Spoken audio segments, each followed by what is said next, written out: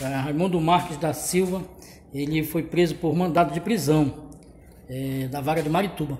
Raimundo, é, quando, quando foi esse homicídio que você cometeu lá? Não, não cometi não. Estão me acusando aí, tem? É, mas é de 2014, né?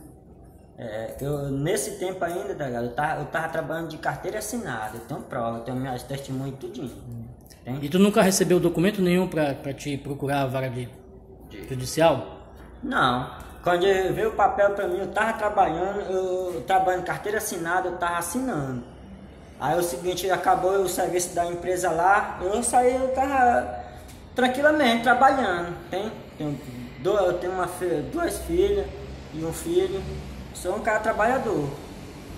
E esse, por que estão te acusando? Agora isso aí, isso aí que eu não sei. Isso aí que eu não sei, essas coisas que estão me acusando, uma coisa que eu não sei.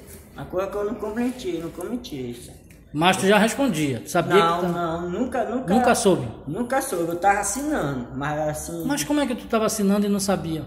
Eu sabia, mas eu, assim que eu tô dizendo, que assim pra mim, não, não tava assim pra mim ficar preso assim, não tem?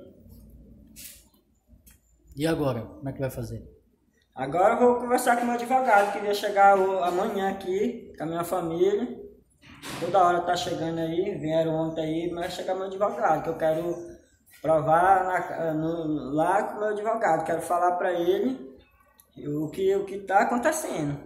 E trabalha de quê? Hã? E trabalha de Eu quê? trabalhava lá na cerâmica lá, lá na rua do São Francisco. Trabalhei lá um ano e pouco, tem meu crachá, tem meus documentos, tudo lá. Ok. Né, legal?